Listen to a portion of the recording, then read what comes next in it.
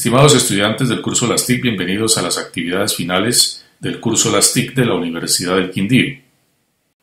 Su evaluación será el resultado del desarrollo de todos estos talleres para los cuales se le entregarán los videotutoriales correspondientes. Este es un ejemplo de un nuevo diseño y una estructura para un sitio de WordPress con el cual usted va a modificar el que usted ya realizó en la unidad anterior. Veamos entonces un cuadro comparativo entre el ejemplo y lo que usted va a realizar. En la parte izquierda está el ejemplo que le estamos presentando y en la parte derecha cómo va a quedar su blog.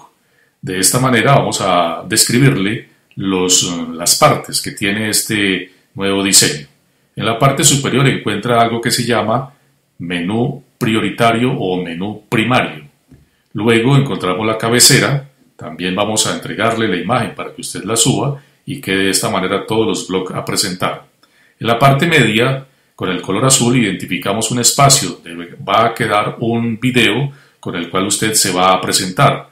Algo así como, hola, mi nombre es William Pulgarín Giraldo, soy del programa bla bla bla bla de la Universidad del Quindío. Este video lo va a hacer, puede ser con un celular lo sube a su canal de YouTube, también un trabajo realizado en espacios anteriores.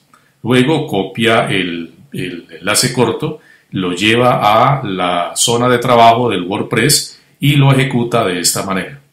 En la parte inferior encontramos entonces algo que se llama pie de página, en este caso le hemos llamado enlaces y lo hemos llevado a unas herramientas bien interesantes para su quehacer tanto como estudiante como a nivel profesional.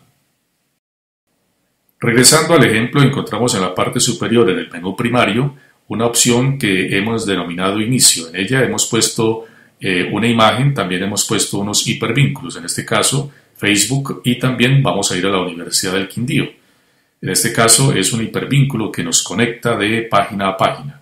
Regresamos a nuestro WordPress y aquí también puede ubicar blogs que hayan hecho sus compañeros. La opción en el menú primario acerca de es eh, acerca suyo para conocer algo que tenga que ver con, puede ser sus aficiones o las materias inclusive que son de su agrado. En la parte derecha, columna derecha, es una opción de o un conjunto de opciones manejado por unas opciones dentro del WordPress. La primera se llama menús y la segunda se llama widgets. Vamos a ingresar al espacio académico 1, fue creado por la opción páginas de WordPress y en ella vamos a encontrar una imagen. Esta imagen de varios compañeros es subida por una opción dentro de WordPress denominada imagen destacada.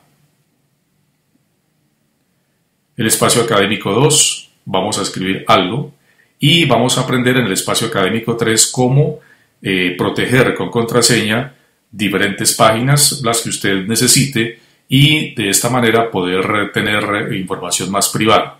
También una forma de presentar eh, los videos en páginas. Aquí en este caso hemos puesto el nombre y los videos correspondientes de presentación al equipo TIC de este semestre.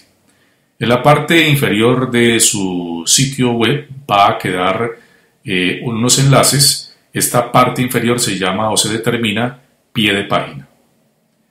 Regresamos entonces al ejemplo del sitio web de la plataforma WordPress de la manera en que vamos a desarrollar los talleres y la base para usted presentar su trabajo final del curso Las TIC. Bienvenido entonces a este espacio de aprendizaje 2 de la unidad número 4 y final del curso Las TIC de la Universidad del Quindío. A continuación, le presentamos una serie de videotutoriales para el desarrollo de sus actividades.